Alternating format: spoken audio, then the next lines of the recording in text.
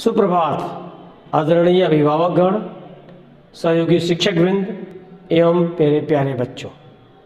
कोहरे से एक बात सीखने को मिलती है कि जब जीवन में रास्ता साफ़ न दिखाई दे रहा हो तो बहुत दूर का देखना व्यर्थ है। एक एक कदम चलते जाओ, रास्ता खुद ब खुद दिखता जाएगा। निवर्तमान परिस्थिति भी कुछ ऐसी ही है, अर्थात एक समय ऑनलाइन शिक्षण एवं सरकारी दिशा निर्देशों के तहत कक्षा शिक्षण इन दोनों का समायोजन काफ़ी मुश्किल लग रहा था। पर कर्मठ शिक्षकों, जिम्मेदार अभिभावकों व अपूर्व मेधा शक्ति संपन्न विद्यार्थियों के सहयोग से यह कार्य सहज ही सिद्ध हो गया। चूँकि कोविड 19 के इस परिवेश की विचार वीतियों में विचरण करते हुए समय शनय शनय व्यतीत होता चला गया और हम नवल वर्ष में आ गए। ब्रह्मांड की सारी शक्तियाँ पहले से हमारी हैं। वो हम ही हैं जो अपनी आँखों पर हाथ रख लेते हैं और फिर रोते हैं कि कितना अंधकार है। इस सूत्र वाक्य को आत्मसात कर सतत कर्म पथ पर प्रवृत्त रहें। ध्यान रखें, अपने अंतर मन में कभी भी हीन भावना ना पनपने दें। अतीत में प्राप्त सफलताओं व जटिल संघर्षों का स्मरण करें। इससे आत्मविश्वास स्वतः उत्पन्न होगा और आप अपने उज्जवल भविष्य का निर्माण कर सकेंगे। स्मरण रहे, वह इंसान कभी भी सहज नहीं हो सकता जो रास्ते पर नहीं रास्ते पर आने वाली बाधाओं के बारे में ज़्यादा सोचता है। साथ ही साथ असफलता के डर से अपने सपनों को पूरा न करने से ज़्यादा अच्छा है कोशिश करने के बाद उनका टूट जाना। फलतः हमें प्रयत्न नियमित रूप से करते रहना चाहिए।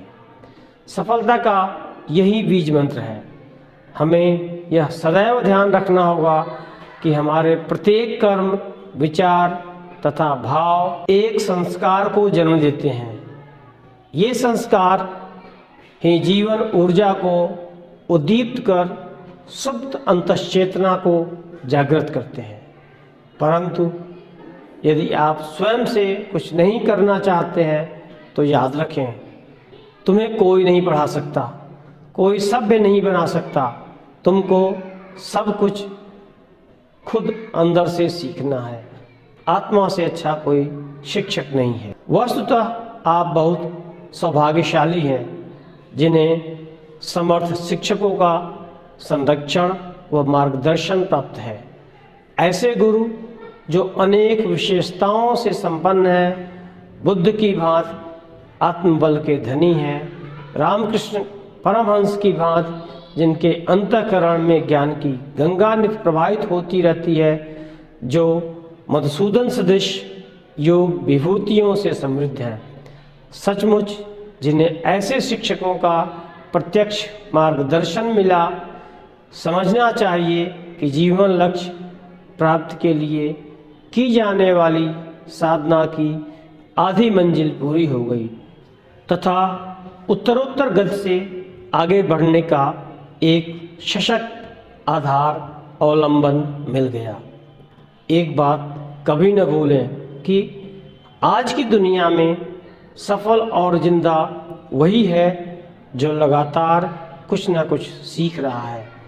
अगर आपने सीखना बंद कर दिया तो यह समझ लीजिए, यही एक आदत आपके पतन का कारण बन सकती है।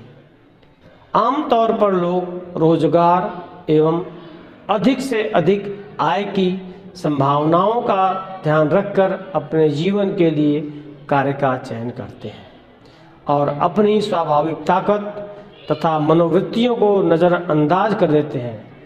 आज के समाज की सबसे भयावह विडंबना है कि प्रकृति एवं स्वाभाविक प्रतिभाओं को हम नष्ट कर चुके हैं और भौतिक ज़रूरतों के आधार पर अपने काम को सीमित कर देते हैं। दुनिया के हर आदमी में एक खास रचनात्मक गुण होता है। एक वैशिष्ट्य होता है, हो सकता है कि वर्तमान में इस सृजनात्मकता की समझ व्यक्ति को नहीं हो, पर उसके काम और प्रयोग के बाद एक नई खोज सामने आए दुनिया के जितने महान प्रयोग हुए हैं वे इसी आधार पर हुए हैं। पू, पूरी प्रकृति प्रयोगवादी है। प्रकृति खुद नए नए प्रयोग करती रहती है। उसकी अवधि लंबी है इसलिए हमें पता नहीं चलता। खुद को जानने या समझने की कोशिश में प्रतिस्पर्धा भी कम हो जाएगी। हमारा कोई प्रतिद्वंद्वी भी दिखाई नहीं देगा। संसार में सामाजिक विकास की गति और अधिक तेज हो जाएगी। वस्तुतः हम इस बदलाव को समझें और अपने आप को जाने, पहचाने। तभी हमारा और इस संसार का सकारात्मक विकास संभव है। धन्यवाद।